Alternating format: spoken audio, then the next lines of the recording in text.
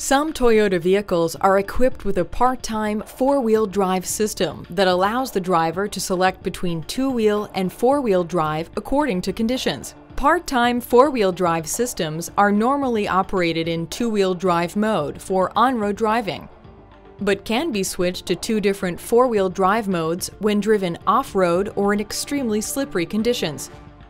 Key components of the system include a transfer case that redirects and divides engine torque from the engine to the front and rear wheels, as selected, and also provides an extra low gear for difficult off-road driving, and differentials in both the front and rear axles.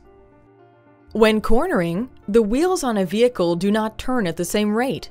Differentials are necessary to allow the vehicle to turn a corner smoothly on dry pavement especially on a four-wheel drive vehicle where all the wheels are connected.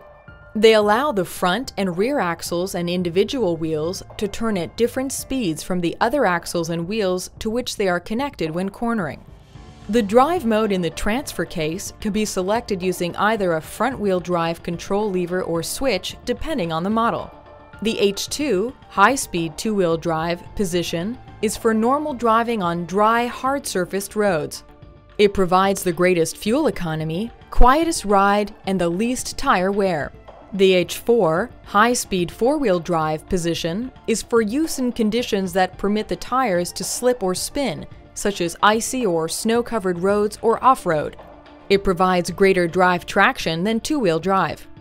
The L4 low-speed four-wheel drive position is for use at very low speeds when climbing or descending steep hills for off-road driving, and for hard going in sand, mud, or deep snow.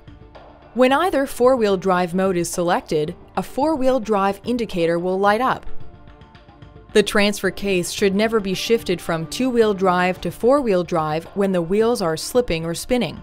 It is important to stop the slipping or spinning before shifting. In some models, the rear differential can be locked when one of the rear wheels is spinning, providing extra traction when you need it most. The rear differential lock is activated by pressing the rear differential lock switch.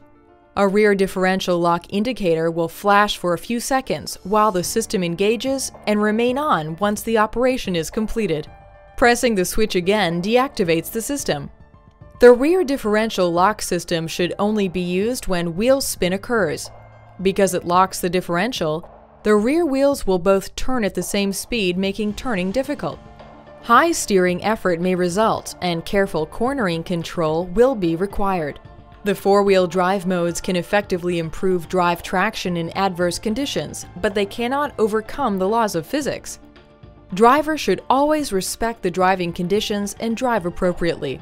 The features and functions described in this video might not be applicable to your Toyota model.